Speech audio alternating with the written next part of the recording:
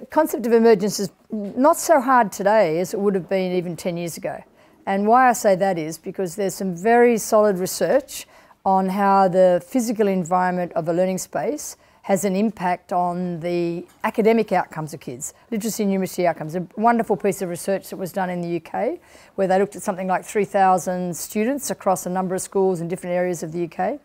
And what they did was they examined different features of the physical environment from the light to the visual displays in the room to the way the furniture was um, and so on. And they've got very clear, like 16% effect size or effect on the learning outcomes of students that were in classrooms that were designed well uh, physically. And so that's a really important piece of research to take control of because if I go into a lot of primary classrooms, I see sort of like a lot of visual stuff, sometimes very, very busy. And some teachers say, well, I like it like that and it's honouring each kid.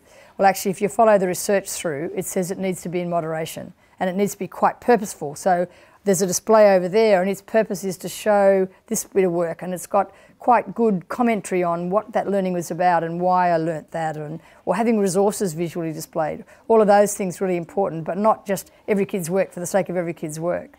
So that bit of research is really powerful and I encourage all teachers to access the resource and have a look at that. Thinking about the idea, like when I started doing some of this work, one of the things that was really hard was because we were designing new things, you couldn't do research on it because they hadn't been designed. Really, what I can now say though, if I look at the schools where they've looked at all the aspects of this complex system that is teaching, it's leading, it's learning, its spaces, if you look at all that complexity of that system and you look at the schools that are paying attention to every aspect of that, and over time, but they don't do it all at once, but they're paying attention to it always with the thing, how is this helping learning, the teacher's learning or the student's learning? What you find now is that their academic results are going through the roof. And not only that, I mean, there are a number of schools, and I won't cite them here because there are probably others I'll miss out, but there, there'll be some site, you could put some things up on your site that would show some of the research that's going on in those schools, which show that the academic results are improving. But in addition to that, what's also happening is that their capabilities or their key competencies are also growing and developing.